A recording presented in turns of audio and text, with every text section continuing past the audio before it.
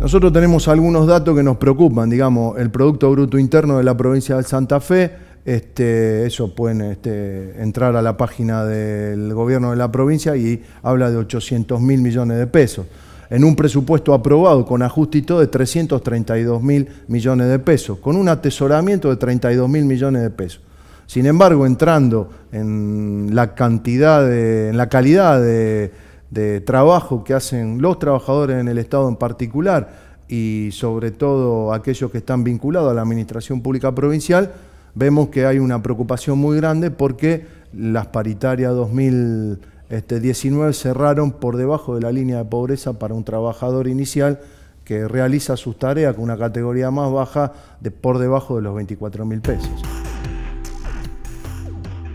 no solo nuestra ATE, sino otras organizaciones este, de otras centrales sindicales, organizaciones gremiales, organizaciones sociales y políticas, han desarrollado en estos tres años, estos tres años y medio, denunciando la política que nosotros decimos de planificación, de miseria planificada que lleva adelante el gobierno de Cambiemos y que, vuelvo a decir, lo repito, es en complicidad, creo que con los gobiernos provinciales y locales, este, en una política que eh, preocupa eh, en el presente y en el futuro en relación a la calidad de trabajo, la calidad de vida que tenemos y que deberíamos tener una Santa Fe rica que evidentemente muestra una cara, una contracara, donde la pobreza, la desigualdad social, la violencia social crece eh, día a día.